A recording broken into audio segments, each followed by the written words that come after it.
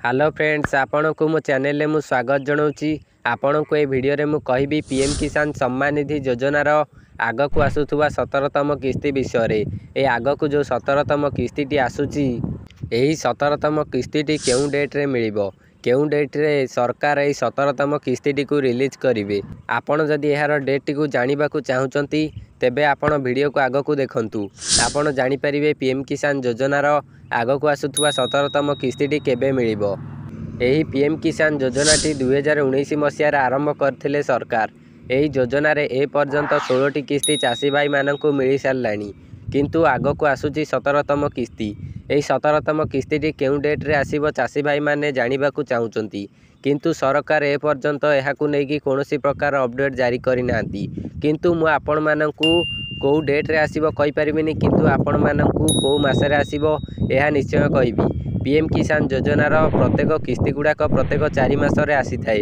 P M କିଷାନ ଯୋଜନାର ଷୋହଳତମ କିସ୍ତିଟି ଫେବୃଆରୀ ମାସରେ ଚାଷୀ ଭାଇମାନଙ୍କୁ ମିଳିଥିଲା।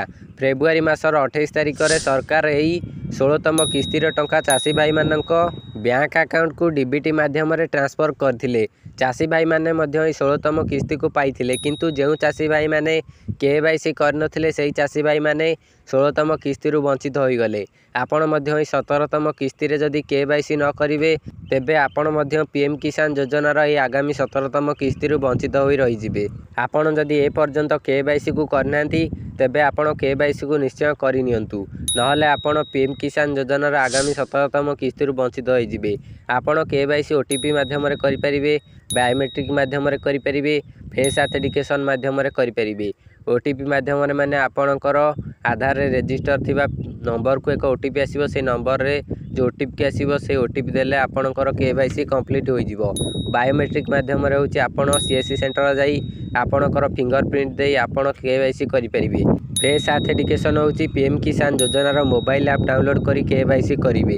ଏବେ ଆପଣ ଜାଣି ରଖନ୍ତୁ ପି ଏମ୍ କିଷାନ ଯୋଜନାର ଆଗାମୀ ସତରତମ କିସ୍ତିଟି କେବେ ମିଳିବ। ଏବେ ଚାଲିଛି ମେ ମାସ। ମେ ମାସ ପରେ ଯେଉଁ ଜୁନ୍ ମାସଟି ଆସିବ ସେହି ଜୁନ୍ ମାସରେ ସତରତମ କିସ୍ତିଟି ଚାଷୀଙ୍କୁ ମିଳିବ।